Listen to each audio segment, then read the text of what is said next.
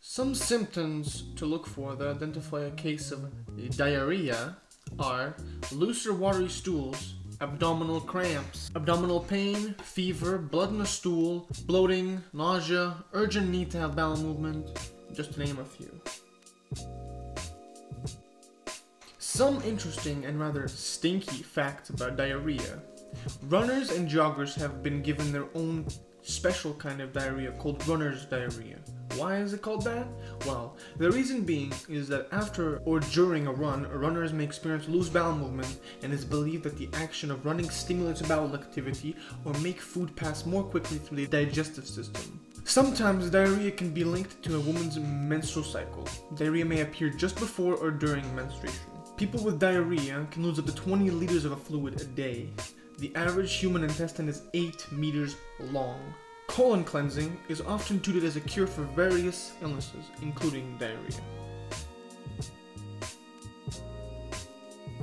Causes of diarrhea. Causes can be virus such as Norwalk virus, cytomegalovirus, bacteria and parasites, any contaminated food and bugs as Giardia lamblia and Cryptosporidium.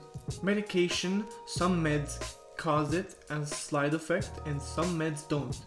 Lactose intolerance have a problem with digesting the sugar in milk, fructose found in sweeteners and fruits. It's a sugar people don't digest well.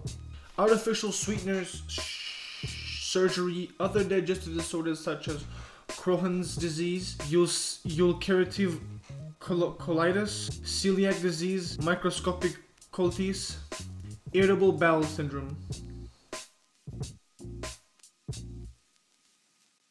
Treatments for diarrhea. To treat it, you can leave it be and keep yourself healthy, and it will pass. Or if it's not worth being in that all spot, you can get meds over the counter that could be Pepto or something close to that. While in some cases, it's a virus that needs an antibiotic that will fight against it.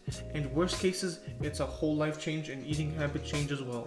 For some cases, it's talking to the doc to get meds that's prescribed for the issue at hand.